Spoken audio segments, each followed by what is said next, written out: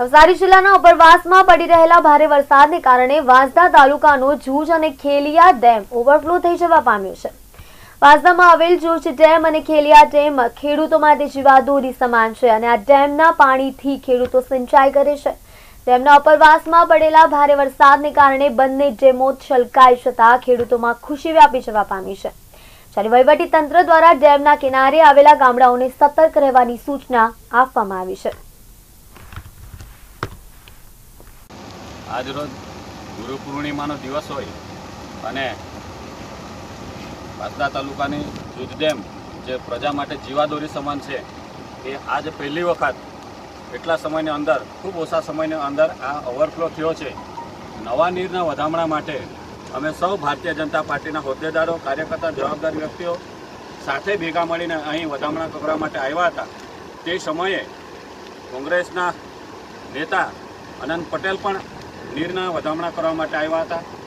તે સમયે એમના સાથે થોડુંક એક આર્ગ્યુમેન્ટ કરવાનું પણ થયું હતું કે ભાઈ, ગુજરાત સરકાર અને કેન્દ્રની સરકાર જ્યારે આ પ્રજા માટે કલ્યાણકારી યોજનાના માધ્યમથી નવા ડેમો બનાવવાની જે વાત કરે છે, તેવી યોજનાઓનો તમે વિરોધ કરો છો અને આજે આ નવા નીરના વધારણા માટે પાછા તમે આવો છો, ત્યારે એમનું કહેવાનું એવું છે કે ભાઈ, કોઈક સાચી બાબત હોય તો પણ અમારે વિરોધ કરવો પડે.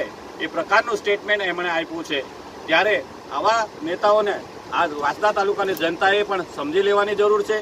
જ્યારે ભારતીય જનતા પાર્ટી આજે આ જે નવા નીરને વધામણા માટે જ્યારે ભેગા થયા છે, ત્યારે ગત દિવસોમાં પણ સોળ કરોડના માતબર રકમથી આ વિસ્તારમાં દરેક ઘરે નળથી જળ સુધી પાણી પહોંચે એવી યોજના આપણા વચ્ચે લાવી છે. ત્યારે આ પાણીનો પુષ્કળ પ્રમાણમાં આદિવાસી પ્રજાને ફાયદો થવાનો છે. ઘર ઘર સુધી આ અહીંનું પાણી ઘર ઘર સુધી જવાનું છે ત્યારે દરેક વાસદા તાલુકાની જનતાને અમે આ તબક્કે શુભેચ્છા પાઠવીએ છીએ અને નવા નિર્ણય વધામણાના અમે એમનું સ્વાગત કરીએ છીએ.